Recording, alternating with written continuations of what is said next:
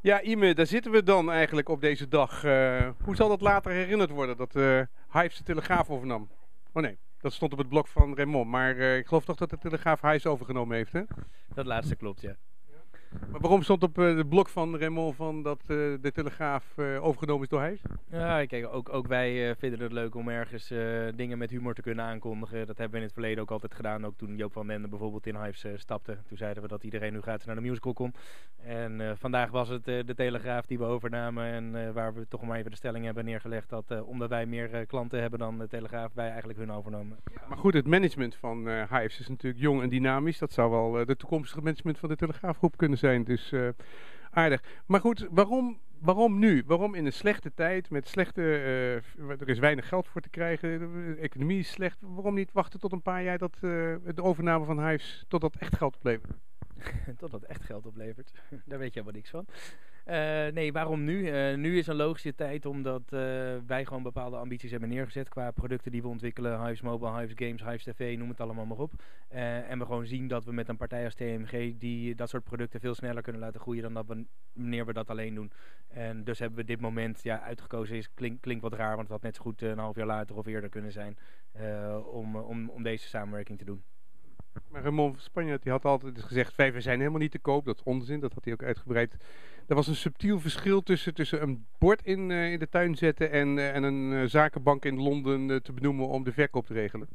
Ja, nee, daar, daar zit ook gewoon een groot verschil. Dus de, de, de, nou ja, het FD schreef een aantal, aantal weken geleden dat we Hive te koop hebben gezet. Of nee, sterker nog, dat onze aandeelhouders Hive te koop zouden hebben gezet. Wat echt pertinente onzin is. daar hebben in de afgelopen jaren meerdere keren partijen aangeklopt van we zouden graag over zo'n vorm van samenwerking en overname uh, praten. Uh, om te kijken of, dat, uh, of, dat, of we daaruit kunnen komen. Nou, daar kwamen we ofwel strategisch ofwel financieel nooit uit. En, en vandaag wel. En dat is waarom het vandaag gebeurt. Ja. Dus ook al is dit niet de, prijs, niet de tijd om een beste prijs te krijgen. Jullie willen het echt doen vanwege het feit dat je nieuwe producten en diensten in de markt kunt zetten samen met de Telegraaf. Waarom is dat? Hoe kun je nou met de Telegraaf zo goed samenwerken? Ja, even om je eerste punt. Uh, ik weet niet of dit een slechte tijd is of een goede tijd. Dat zullen we achteraf natuurlijk uh, kunnen. We zitten midden in een financiële crisis. Uh, iedereen heeft nou niet direct veel cash. Er wordt enorm bezuinigd bij de Telegraaf. Ze hebben echt niet honderden miljoenen overliggen. Dus het is. Het is ja, de, maar het is, het is een andere reden dan dat je de, de, de hoofdprijs wil hebben. Nou, voor ons is het een toptijd. Hè. Laat ik daar geen, misverstand over eh, bestaan. Zowel financieel als qua gebruik is het de toptijd. En voor de Telegraaf is het een stukje toekomst. Eh, want uh, helemaal eens, ik ga je niet namens de Telegraaf spreken. Maar zij hebben op bepaalde terreinen natuurlijk een, een moeilijkere tijd dan, dan wij bijvoorbeeld als bedrijf hebben. En daar zijn wij deels een antwoord op voor, voor, vanuit hun bekeken. Uh, maar zij zijn deels ook een antwoord op de uitdagingen die wij hebben. Want zij hebben dingen die wij niet hebben. Uh, media, online, offline, uh, alles anders dan, dan Hives in deze. Dat zie je ook in de gezamenlijke statistieken. Maar, maar, maar jij zegt dus nu van wij gaan het gebruiken om producten en diensten die wij aan het maken zijn, om die veel beter in de markt te kunnen zetten. Dus jullie zijn net met games begonnen, hè, leisure games, samen met speel, speelgames. Hoe kan het nou beter, want jullie zijn al een van de grootste sites, hoe kan het nou beter in de markt geworden met, met titels van de Telegraaf? Ja, nou, eh, wist je dat, uh, dat Casing een onderdeel is van, uh, van TMG en een, een hele grote games portfolio heeft? Online casual games portfolio, portfolio. Ze hebben de denksport dingen, de puzzels, Stratego, allemaal van dat soort game titels. Nou, dat, daar, daar zit een uniek mogelijke mooie samenwerking in, in te doen. Dus die unieke, dus die, die, die exclusieve samenwerking met Speel, uh, dat zal uh, nu wel weer op de helling komen. Absoluut niet. Wij zijn ontzettend blij met Speel. En uh, sterker nog, dat zouden we het liefst nog heel lang samen doordoen. maar ook binnen de samenwerking met Speel werken we met games van derde partijen. dat moet een win-win zijn voor Speel en voor ons. En in dit geval ook voor de Telegraaf. Maar ik denk dat iedereen die wel ziet. Ja, goed, maar een portefeuille van games, daar hoef je inderdaad niet voor over, daar hoef je niet overgenomen te worden. Wat helpt mij nou eens, jullie hebben net mobiel hebben jullie aangekondigd. Iedereen kan een abonnement krijgen, een Hives mobiel abonnement. Dan kun je gratis met andere Hivers bellen. Wat zou nou zoveel beter gaan als je de Telegraaf achter je hebt nu? Kijk naar een, een, titel als Spits en Sky Radio van, uh, van de TMG. Als wij zoiets willen verkopen, dan gaat dat sneller via bijvoorbeeld ook een Spits en een, en een Sky Radio. En hoe sneller het gaat, hoe meer mensen gratis met elkaar kunnen bellen en sms'en. Het netwerkeffect in zo'n telecompropositie is extreem belangrijk. Dus hoe sneller je dat vliegwiel aan de gang krijgt, hoe beter dit gaat werken, hoe meer mensen zullen overstappen naar Hives Mobile. Wij zelf kunnen een end komen, want we bereiken veel mensen op Hives. Maar je merkt gewoon dat mensen, ze doen zoveel op Hives en ze zijn niet per se bezig met alle nieuwe dingen die we maken. Dus als je ook op andere plekken dat kunt communiceren, dan uh, ja, dat helpt. Dus eigenlijk het voordeel is goedkope media power. Nou, het is dat je inderdaad hetzelfde bedrijf bent en wat dat betreft uh, volledig hetzelfde belang hebt om iets helemaal uh, groot te maken. Dus, uh, en dat is één voorbeeld. Weet je, dat geldt net zo goed voor Hives TV. Het geldt voor nu in Nederland, wat onze nieuwspropositie eigenlijk is. Hè. Hoe laten we continu aan Hivers zien waar Nederlanders het nu over hebben? Nou, dat ligt dicht tegen de voor voorpagina van de Telegraaf aan. Dus op al dat soort vlakken zitten dit soort samenwerkingen. Die hebben wij geleerd minder goed tot wasdom komen in puur samenwerking. En we verwachten beter als één bedrijf. Oké, nou dat is een, een mooi... Ja, nee, ik zie het nog niet zo... Ik zie de voorbeelden nog niet zo voor me, maar uh, dat is, kan mijn beperkte blik zijn. Ik denk ook dat je niet per se moet verwachten dat er nieuwe producten uit voort gaan komen. Hè. Het is echt het versnellen en verbeteren van de dingen die we al doen. Als, het, als wij afhankelijk zouden zijn van deze overname voor de nieuwe producten die we ontwikkelen, dan denk ik dat het niet, dat, dat, dat niet goed zou zijn. Dus. Nee, maar daar, ik, ik zie niet in van wat nou specifiek door die samenwerking zoveel beter gaat. Games hebben jullie al media power, die kun je ook gewoon doen met een, hè, dat ze een percentage krijgen. Ik zie het nog niet zo voor me. Laten, ze, laten we even een project bij de kop pakken. Jullie hebben uh, een voetbalpool gemaakt met 250.000 deelnemers. Dat ging met de Telegraaf. Wat voor soort samenwerking was het en waardoor kwamen jij er beter uit en de Telegraaf? Nou, dat deden we wel voor, voor de derde keer op rij. En voor de eerste keer eigenlijk hebben we ook commercieel gekeken van hoe kun je dat nou beter uitnutten. Maar wat je merkt, en ik, ik weet zeker dat jij dat, uh, dat ook wel herkent, is dat dat soort samenwerkingen, als je niet hetzelfde bedrijf bent, qua tijd die je erin moet investeren om het echt te laten werken, gewoon best ingewikkeld zijn. Het kost ontzettend veel tijd en pas de derde keer ging dat helemaal goed. Als je één en hetzelfde bedrijf bent en de belangen volledig hetzelfde zijn, zowel commercieel als qua product, gaat het gewoon sneller en makkelijker. Dat, uh, dat zal iedereen herkennen die, uh, nou ja, veel partijen, met veel partijen samenwerkt. Hoeveel partijen hebben jullie nou mee gesproken in de afgelopen eh, drie jaar over overnames? Goeie vraag. 1, 2, 3? Nee, er zijn uh, in, uh, ik denk echt letterlijk, maar dat zou je Raymond moeten vragen. Uh, sinds het begin van Hive zijn die gesprekken er al geweest. Dus ik zou geen aantal weten, maar binnen- en buitenland zijn bijna elke naam die je zou kunnen bedenken, is wel meegesproken over wat voor vorm de samenwerking dan ook. Of dat nou overname is of anderszins strategisch. Dus veel. Iedereen ziet eigenlijk, uh, als je kijkt over hoe mensen aan het discussiëren zijn, Twitter, dan uh, is het het heigende Facebook in de nek van uh, Hives. Hoe staat het nu tussen Hives en Facebook in termen van aantallen gebruikers, minuten, et cetera? Goed wat ons betreft. Goed volgens mij ook wat Facebook betreft. Uh, die zitten tegen de 3 miljoen uh, gebruikers geloof ik aan in Nederland. Zij het veel minder actief dan, uh, dan Hives. maar zoals ik al eerder ook aangaf, we hebben gisteren nog een, een minutenrecord gedraaid op Hives. Dus het gaat extreem goed. Ja, maar jullie hebben dus 10 miljoen, zij hebben 3 miljoen. hoe, hoe zit het qua page views of actieve gebruikers? Want jij publiceert daar gewoon komstak, komspek statistieken van? Uh, heel grofweg kun je zeggen dat in bereik, dus hoeveel mensen de diensten gebruiken, Hive ongeveer twee keer zo groot is. En in gebruik is het ongeveer vijf keer zo groot. Vijf keer zoveel minuten. Nu hebben jullie een uh, businessmodel. Je, doet, uh, je hebt nu gezegd dat je dit jaar 20 miljoen gaat doen met uh, 5 miljoen actieve gebruikers. Hè? Dus dat is zeg maar 4 euro per gebruiker per jaar. Um, wat is dat over drie jaar? Hoeveel geld kun je halen uit een sociale, uit een sociale website? Dat hangt natuurlijk ontzettend af van de keuzes die je maakt in wat voor producten ga je dan uh, verkopen. Uh, dus daar is Hives Mobile een goed voorbeeld van een, een waardeketen of een industrie waar we zagen dat wij een belangrijke rol speelden. Want telecombedrijven zijn de grootste adverteerders bij ons. Maar waar we eigenlijk ook zoiets hadden, hey, kunnen wij daar niet zelf een, uh, een, een betere propositie neerzetten. Maar dat betekent dat we niet alleen maar als advertentieplatform platform gaan fungeren, maar ook zelf telecomabonnementen gaan ver verkopen. De omzetten daar per gebruiker liggen al gauw in de honderden euro's per, per jaar, gemiddeld. Uh, dus ja, daar is natuurlijk veel meer te halen als je het zo zou willen noemen dan, uh, dan in de pure advertentiemodel zoals wij het nu op Hives hanteren. Maar uh, dus, dus, ja, daar, daar liggen zeker kansen om die behoorlijk te vergroten. Maar je hebt niks concreets. Ik bedoel, Google heeft volgens mij minder internettijd op dit ogenblik. Hè? Als je YouTube er even uithaalt, maar heeft minder internettijd. En die verdient zeg maar 20 keer, 20 tot 30 keer zoveel. Ja, fantastisch model.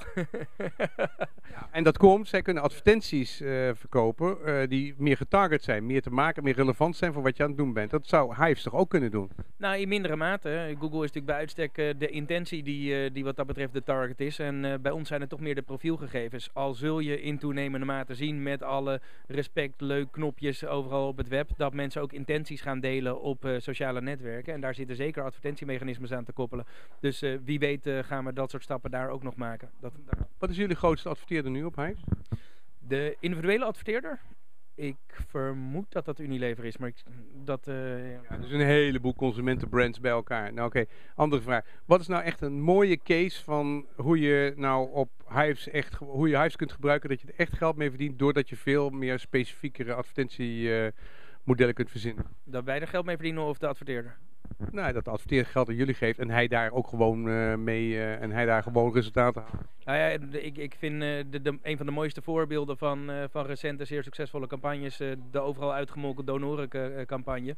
Iets wat zo nauw ligt en zo emotioneel, zeg maar, ja uh, mensen raakt. Uh, maar toch uh, een campagne op Hive 25.000 mensen orgaandonor doet laten worden. Dat vind ik een fantastische manier van kijk eens hoe je dat kan inzetten. Dus BNN die met een hele week werken en een fantastische hoeveelheid publiciteit 7000 donoren kregen. Exact. Is het nu ook 25.000 die een handtekening hebben gezet die echt gewoon nu gecommit zijn? Toen we het bekend maakten waren het er 25.000. Waarvan 85% zeg maar ja zegt. Want je kunt ook nee zeggen daartegen. Maar dat is een normaal gemiddelde. Ja, ik moet de nuance even maken. Uh, maar sindsdien zijn er weer duizenden bijgekomen, uh, onder andere door alle publiciteit. Maar het grote verschil met BNN zit hem natuurlijk gewoon, je maakt het zo persoonlijk en zo confronterend ook naar de vrienden die je hebt, uh, dat het niet meer anoniem is. Weet je, je maakt een keuze in een sociale context. En adverteerders die dat snappen, die op zo'n manier communiceren en je uitdagen, die zijn succesvol. Ja, dit was dan een goed doel. Noem nou eens een, een doel van echt die, mensen die geld hebben betaald en wat, wat de resultaten eruit kwamen. Uh, dat zou je even Remco Wilco moeten vragen. Die uh, weten dat soort dingen allemaal uit hun hoofd. Dat is niet mijn gebied. Ik dacht dat je alle statistieken gewoon weet. hey, uh, we zitten nu zeg maar, er is zeg maar tussen de 50 en 100 miljoen voor betaald. Dat betekent dat er nu gewoon 10 miljonairs rondlopen minimaal. Van de ene heeft 5, 5, 10 miljoen, de andere heeft 5 miljoen. Um, wat is nu de motivatie om nu gewoon lekker door te gaan? Mm, uh, zonder dat ik het uh, eerdere deel van je vraag uh, bevestig. er lopen hier een aantal mensen die miljonair zijn rondgelopen. Is dat een volkomen. Is dat nou zo'n rare opmerking? Nee, ja, we hebben afgesproken er geen uitspraak over te doen. Dus ik vraag ook niet hoeveel geld ze hebben. Maar goed, er zijn nu minimaal 10 miljonairs bijgekomen. Van, dat is een, dat is, die krijgen een bak met geld, want alles is cash. Dus wat betekent dat voor de motivatie om door te gaan? Ik denk dat iedereen hier, maar ik wil natuurlijk niet namens de anderen spreken, maar ik weet dat ze er net zo over voelen. Er gewoon ontzettend veel lol haalt uit wat je nu samen kunt doen, wat we eerst alleen niet konden doen. En het zou mij heel sterk verbazen dat de motivatie is afgenomen bij de mensen die hier uh, rondlopen. Die is voor zover ik weet alleen maar toegenomen. Dus. Hoe lang heeft iedereen uh, bijgetekend? Wat is de voorwaarde? Hoeveel jaren moeten jullie nog doorgaan? Daar hebben ook geen, doen we geen uitspraken over, maar uh, iedereen blijft hier voorlopig werken. Ja, dat, is dat is natuurlijk ook een van de voorwaarden. Oké, okay, dus um, het blijft gewoon een uh, bedrijf. Uh, wat, voor een, uh, wat voor afspraken zijn, wat voor garanties zijn er voor de hivers dat die profielen met al die privéinformatie niet zeg maar onder andere 40 titels gebruikt gaan worden? Nou, we hebben natuurlijk onze voorwaarden waar mensen mee akkoord zijn gegaan. En... Wat heb ik nou in godsnaam mee akkoord gegaan met mijn voorwaarden? Wat, mag, wat mogen jullie wel en wat mogen jullie niet doen met mijn gegevens? Vrij weinig, zonder jouw toestemming. Nee, dat meen ik serieus. Als je dat vergelijkt met, uh, met andere bedrijven in, uh, laten we zeggen, het verkopen van de gegevensbranche, dan, dan mogen we eigenlijk helemaal niks. En willen we ook helemaal niks. Op het moment dat wij gegevens zouden verkopen of door zouden geven aan andere onderdelen van TMG, dat kan natuurlijk niet. Het kan niet volgens onze voorwaarden. En het zou gewoon het vertrouwen in Hive zodanig schaden dat ik verwacht dat er nou, de, de Delete Hives campagne wel wat groter gaat worden. Dus dat doen we niet en dat gaat ook niet gebeuren. Die garanties hebben mensen gewoon omdat ze ja, daar akkoord mee gegaan zijn met voorwaarden die wij hebben opgesteld. En die kunnen we niet zomaar aanpassen. Ik denk dat geen hond van de 10 miljoen mensen ooit heeft gekeken wat mijn voorwaarden nou eigenlijk zijn. Maar jullie, jullie doen niets, jullie leveren dat niet aan alle andere telegraafconcerns onderdelen. Nee, nee. Het is business as usual vanaf nu. Even nog een ander um, wat leuk onderwerp. Dat hele defriending gebeuren. Hè? Van, uh, het aantal profielen stijgt nog steeds. Het aantal contacten per profiel stijgt dat ook nog steeds. En hoe zit het met frienden en defrienden? Hoe, uh, hoe ontwikkelt dat zich? Ja, dat is een van de, van de leuke dingen. Uh, een van de dingen waar ik indook toen de, de defriend hype op Twitter met name naar boven kwam als gevolg van de Burger King campagne in, in Amerika op Facebook.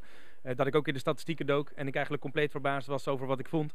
Namelijk dat er uh, per dag een miljoen vriendschappen op Hives verbroken werden. En toen schrok ik. Ik denk, jezus, wat veel.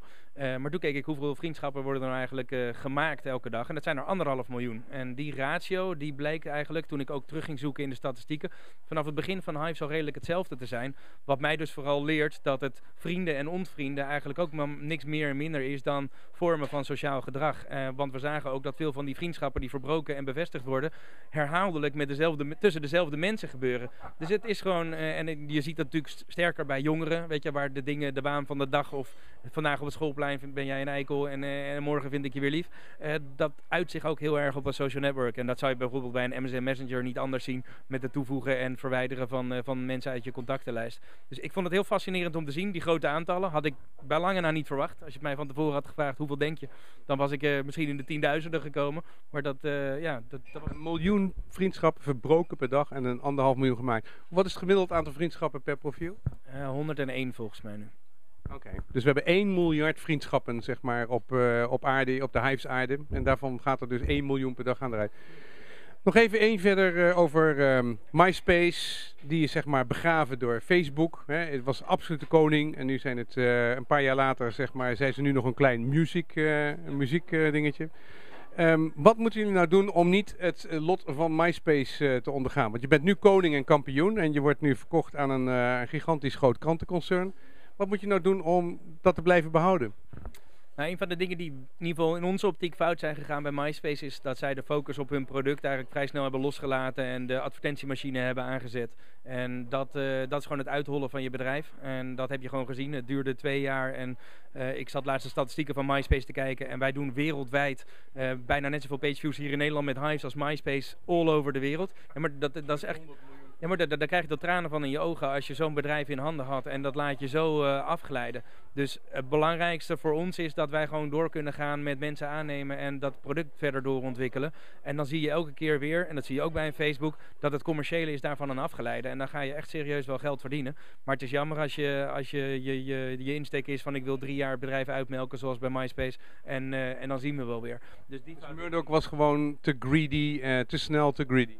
Ik denk dat, uh, dat als je kijkt naar hoe dat soort businesses werken, uh, dat ze dat uh, gewoon de salesafdeling te snel zeg maar, overgezet hebben van doe hetzelfde met deze website. En die mensen blijven het wel gebruiken. Dat is letterlijk wat Murdoch ook zei toen. Want gedrag van mensen verandert niet zo snel. Nou, je hebt gezien hoe snel dat gaat. Dus dat is iets wat, wat niemand hier zal laten gebeuren.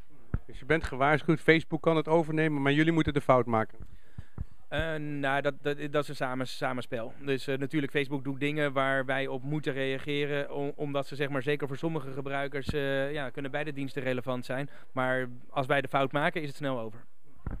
Nou heeft Facebook natuurlijk een half miljard medewerkers, half miljard relaties en jullie 10 miljoen. Als je het leuk wil maken met allemaal developers, dan is natuurlijk Facebook een veel aantrekkelijker perspectief. Want je hebt meteen een wereldmarkt. Wat kunnen jullie nou doen om al die developers te overtuigen dat toch gewoon Facebook wel een handige partij is om applicaties en games en allerlei andere dingen op te maken. Dat Facebook dat is of dat Hives? Nee, dat, dat Hives, een Hives een goede plek is om toch daar energie in te stoppen. Hoe kun je daar tegen verdedigen, tegen die ja, massive, uh, die economy of scale? Nou, deels kun je dat niet, uh, omdat die, uh, die economies of scale echt enorm zijn en ook internationaal georiënteerd. En bij, bij developers die niet eens weten wat, waar Nederland ligt.